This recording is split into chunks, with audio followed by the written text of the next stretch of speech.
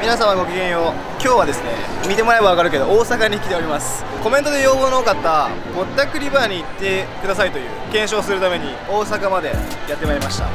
なんでかというとですね5年前ぐらいぼったくりにあって、まあ、その頃はちょっと人生の経験だと思って実際払ったんですけど、まあ、今日はちょっと実際にぼったくられたら戦ってみようかなと思います。何個かぼったくられるっていう噂の店を訪れて、まあ、実際にどうなのか検証していきたいと思います。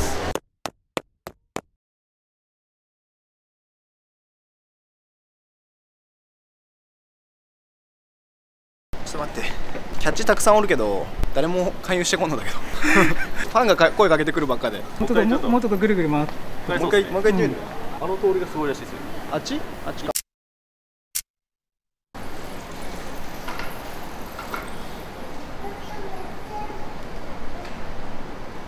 姉さん、はいどこ行ってはるんですか今から。今なんか店探してるんですよね一日を1時間で窃盗3000円でやってしまうそうですよ。3000円ですか？はい、3000円。えどういう店なんですか？で、女の子を置いてるんですよ。ガールズバー的な、そうです、そうです。1時間3000円。はいはいはいってことは合計いくらぐらいなんですか？1人3000円の窃盗料金。ああ僕一人なんですけど大丈夫ですか？あ、大丈夫です。ああじゃあちょっと行きましょうかお兄さんどこから来られたんですか？僕今日東京から来ましたね東京？はい東京やったらどことかで遊ぶんですか？うーんあんまこういう店行かないんですよね友達待ってる間にちょっと時間あるんでそういうことですね。行ってみたいなはいはいはいはい。女の子好きですか？いやーまあほどほどにって感じですあ何人ぐらいいるんですか？女の子あ、シフト制なんで、あ出勤の数違うんです。こちら。あ近いですねこちらですね。どうぞ。お客様一名入ります。僕一人ですか？今は一人ですね。時間帯がちょっと早いんで。何飲まれますか？ハイボールで。え、一緒にいただいていいですか？ああ全然。どうぞ。なんか当てみたいなのあります？一緒にいたします。あえ噂のためです初めて見ましたね。こんな食べ物あるんですね。けどめっちゃ下手くそですね。そうですね。ちょっと初めて見たんで。これひまわりの音なんですか？え、噂のためです。おうまっ。これはうまい。初めて食べた。噂になるだけあるわ。東京から来られたんですか？あそうなんですよ。あの友達と遊ぶために大阪に来たんですけどえー、ちょっと待ち合わせまであー、なるほど。こういう店も来てみたいなと思って。今日どっか行ってきたんですか？今日ですか？今日まだ来たばっかりの感じそういった意味ではね。そういった意味では来たばっかですね。どっか観光行くんですか？まあでもこれが観光かなみたいな。えっと、かんえ、ここに観光に来られたんですかそうですそうです。まあ一環というか。こういうなんか体験もしてみたいなっていう。初めて来たんですよ一人でこういうお店に。東京とかで行かないんですか？東京ではまあなんか連れてってもらうことはあるんですけど。あんま一人で行かない。そうですね。え逆に大阪でなんで行こうと思ったんですか？いやあの暇を持て余して。暇つぶしですね。じゃあ。そうですそうです。で歩いてたんですよ。そしたら声かけられて なんか安かったんでまあいいかなと思って。うんちょっとそろそろもうあの友達が来来るみたいなんで。はい、わかりました。じゃあありがとうございました今日は。ありがとうございます。結構でいいです。あチェックで。はい。これ、会計です。10万1000円。え？なんで？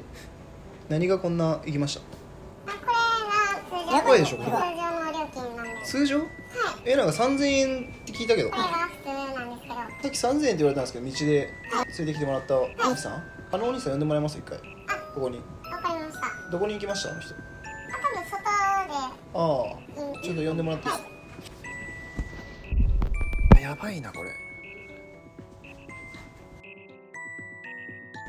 はい、どうされました？いやいや金額さっき言ってたの全然違うけど何がこんなにかかってるんですか？仕分けなんですけど、こちらになってる。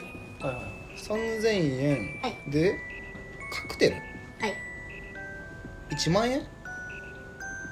カクテルってなんだっけ？なんかえー、ハイボール。あハイボールが1万円、はい。で女の子のドリンク3万円？はい。え？噂の種1万円するんですかこれ？噂のためなんで1万円ですね。はい。ちょっと待ってお冷や5000円はどういうことこれ？こ冷やも5000円。れさすがに舐めてるでしょでアイスってはい。アイスクリーム食べてないけど。アイス氷ですね。氷が2 2万。氷が2万円。えこれエベレストの氷ですか？いや。一応いい氷使ってるんですけどうちの店は。2万はやばいでしってか全部やばいでしょこれさすがに。さすがにこれははい。払えないですよ。でまあ話が違うし。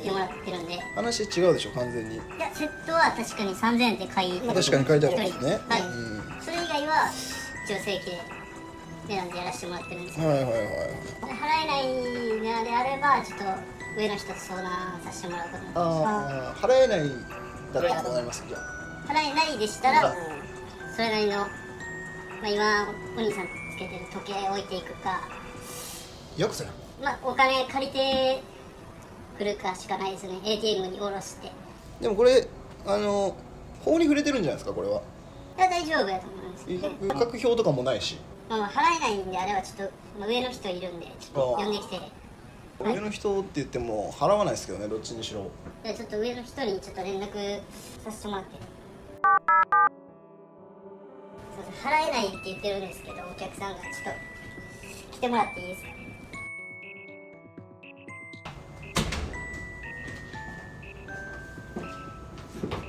このお客さんがちょっと払わないと払えないって言ってるんですよいや、ちょっとあの、払ってもらわな困んねんけどな。いやいやいや金額がおかしいでしょこれさす10がに万1000円、俺400円引いてるやんか、これで。そういう次元じゃなくてアイスの値段とかお菓子が1万円とかそんなのありえないからいや、でもそれはもう、あの、キャッチした時に説明は。いやいや聞いてないです聞いてないですあの3000円って聞いてたんですよそれセット料金だね。うんセット料金1時間3000円は、それはもううちでも。そうそれ以外聞いてないんですよ一つもでもまあ飲んでるしね、これ、実際に。ととりあえず払わないですね。他のお客さんも同じようにもらってるし。払わないって言言った人いないんですか？いや、いるっすよ、全然。どうしたんですかそういう人は？そういう人らは指につけてるやつを置いてもらってるから。はいはいはい。まあ、お金借りるとこちょっと紹介して、そこから借りてもらってっていう感じで。断ったらどういう感じなんですか？武力行使みたいな。武力行使は今まで一回もないけどね。そうなんだ。じゃあ僕は払わないんでこのまま帰らせてもらおうかなと。だからそれはできへんな。このまま帰ろうとしたらどうします？じゃえほんといくらやったら払える？逆に俺って俺って。の5000飯。円。5000円。はい。こんだけ飲んどいて5000円。こんだけ飲んでって言っても僕1杯しか飲んでないですよ。えー、じゃあもう警察に電話していいですか？でも警察呼ぶんやったら、ん。先にこっちでもうちょっと痛い目を合わせるって形になるいける痛い目？痛い目っていうのは？仲間呼んではいはい。ちょっとごめんやけどちょっとだけ痛い思いしてもらうかもしれないえどこでですか？でここで、ここで？うん。それを我慢するか払うかのどっちかやねまあ呼んでもらってもいいけど、だったら。多分逆にそっちが痛い思いすると思うけどね。えお兄ちゃん一人やね。そうですね。ほんなら絶対勝てるわ。勝てる勝てへんとかじゃないけど。じゃあ呼んでください今から。ほんならさっき呼んでいいか？いいですよ全然。それは。うん。武力行使みたいなのも他の人には通用するかもしれないけど僕には効かないですよ。やめた方がいいですよこういうの。明らかにおかしいから値段が分かってますよねぶっちゃけまあ、うん、キャッチに何言われたか分からへんけど、まあまあちょっとやりすぎかなとは思ってるよ、それは。はいはいはいまあ、大体払っていくから、だからずっとやってるだけで。いやでも続かないですよこんなことうちで言ったら1日1組入ってきたらいいかなみたいな。うんまあ値段的にはねこんなことやめた方がいいと思いますよ僕はとりあえず僕は今日払う気ないんでいいですか？この最初の3000円で。3000円だけやったら払ってくれるんですか？まあそれはもちろん。最初の話なんでね。ほんならもう折り合いもう3000円でっていうことで。はい。じゃあえっ、と新しい伝票もらっていいですか？燃料持ってきて。じゃあ3000円これで。今日だけ、そうですね。もうこれで。今日だけっていうかもう今後やめた方がいいと思いますよ。心に響いてないかもしれないけど。大阪って結構観光客が多いからそういった意味では。ターゲットにみたいな。やってるっていうのもあるし。ターゲットって言ってもちょっとおかしいですけど、お兄さんみたいなってね、こうやって言われることが初めてやから。もっと店のやり方を変えれば普通にお客さんがもっと増えて健全にお金を稼ぐことができればそっちの方がいいんじゃないですかそうですね。まあちょっと考えて、まあスタッフとも話して、普通のバーでやっていけるんやったら、またちょっと場所変えてでもやろうかなみたいな。うん。じゃあ頑張ってくださいよ。帰りますね。ありがとうございます。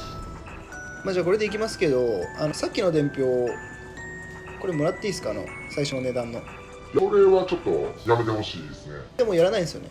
もうやれないですけどやめてほしいですね。いや記念に。だって店の名前とか書いてないでしょ。書いてないですけどやっぱりちょっとそれは外には出してほしくないっていうのは。あー。えこれって実際に支払った人には渡してるんですか？支払った人にも渡してないですね。あお金だけもらってそうそうです。じゃあ領収書とかもなく。明細じゃない方でもらってるんでしてくれって言われてもそれすぐ隠してまうんで。あー。見せたりしないでも持ってっていいですかこれ記念に？いやちょっとそれはほんまにやめてもらいたいですね。店より外にも持ち出されたくない。いはいはいはい。写真とかは撮撮るんだや写真もちょっと。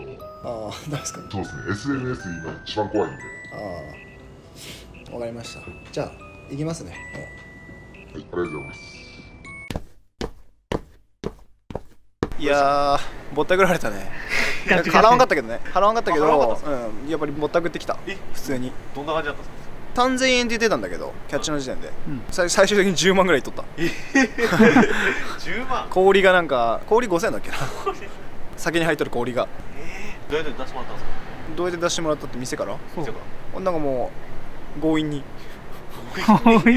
なんか仲間呼ぶとかなんかようわけわからんこと言ってたけど。じゃあ相相手も結構もうガチで。うんなんか痛い目合わせるぞみたいな。言うたけど逆に俺が痛い目合わせちゃうよみたいな。そんそなんなことある？相当やばい店ですねじゃあ。いややばいね。てか1軒目からあれだったからそこら辺全部そうなんじゃない？違う？いやでもそもそもキャッチが誘ってこなかったから俺。多分もっと観光客っぽいのを多分ターゲットにしてるわああそういうことね。うん慣れてない。なんか俺ちょっと多分染まってんだよね。大阪っぽい。うんなるほど。だから多分ねキャッチの方も見てる。そのどういう人をああなるほどね。ど選んでるんだ。払いそうなやつみたいな、うん多分観光客で、まあ金は持ってるけど断れなさそうな、ちょっと怖めやん。見た目が、うんだから多分払わんかもしれんと思ってみんなキャッチが誘ってこんかったかもん。あそういうことねだからあの辺全部危ないかもしれん。普通に、ういんやマジで気をつけた方がいいね。そもそも危ないとこに行かないことがいいですね。うん。うキャッチについていかない。んそうそう。キャッチってそもそも違法ですよね。キャッチについていかないことですよね。これでまた見てね気づいてもらえたら被害者が少なくなってもらえればいいかなと思います、皆様ごきげんよう。今日なんですけど町の喧嘩自慢にプロ格闘家がスパーリングしようと言ったらやるのかやらないのか検証していきたいと思います。おおミコル君じゃないですか。写真写真撮って写真。喧嘩自慢を探してまして一緒にスパーリングやりたいっていうなんで誘ってるんですけど言ってるけどでもやりたいみたいな。うんだっていけそう。身長的に いけそう。見とけちょっとさ